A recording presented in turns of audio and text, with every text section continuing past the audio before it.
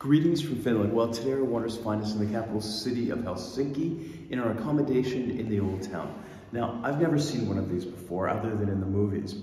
This, of course, behind me is our elevator or lift. Now, check this out. It's just like out of a James Bond movie.